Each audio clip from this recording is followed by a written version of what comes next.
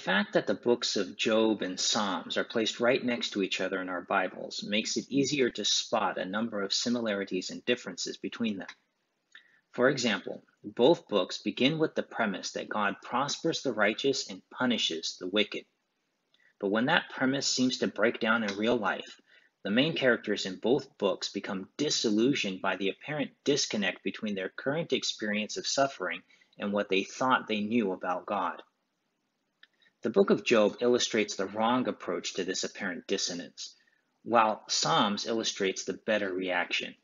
Job spends most of his time talking with his three friends, hashing things out and listening to their arguments and pushing back with his own counter arguments and carefully crafted refutations. He attempts to reason his way through the apparent contradiction he senses in God's handling of his situation. In the process, he gets so carried away that he strays far afield from his initial reaction in chapter 1, where he does not sin or blame God. Along the way, he does say many things that are true about God, but by chapter 40, he has actually condemned God in an attempt to justify himself. In effect, he has talked his way into a bind. I call this the manward approach because it focuses on man, not God. After the Lord speaks to him out of the whirlwind, Job finally turns Godward again in chapter 42, retracting his rash words in repentance and asking God to instruct him.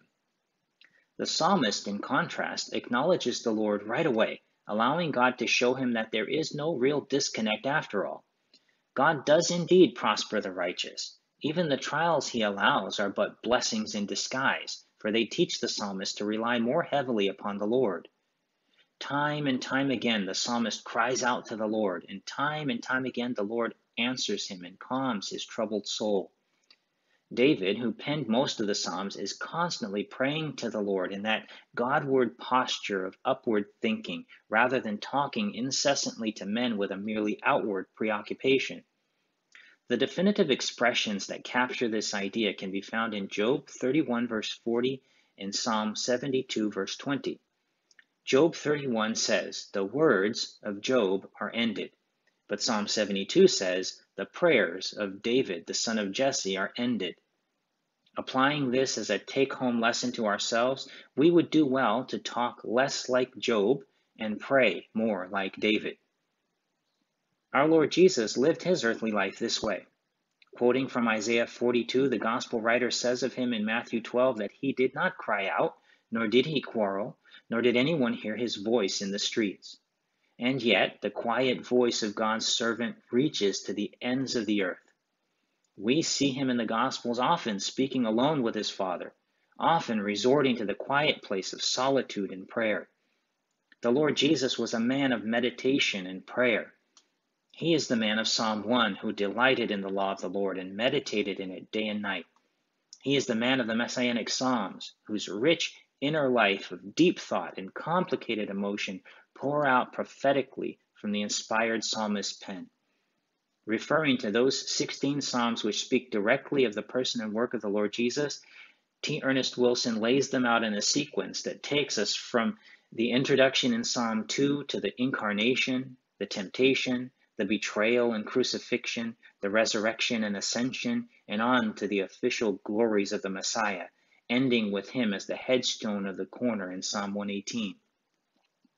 Jesus himself testified to the disciples gathered in Luke 24 that the law of Moses and the prophets and the Psalms all spoke concerning him.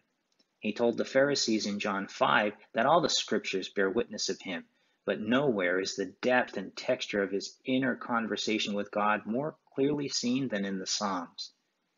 In these extraordinary times in which we live, we would do well as believers to emulate his example, to occupy ourselves more with meditation and prayer and less with argumentation and defense, to devote ourselves to being more than doing or even talking, for the kingdom does not consist in words but in power.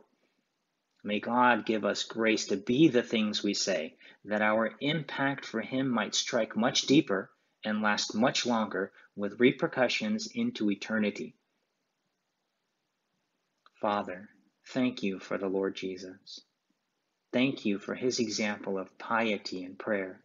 Help us to live our lives following in his footsteps.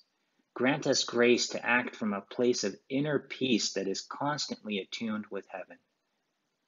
In Jesus' name we pray. Amen.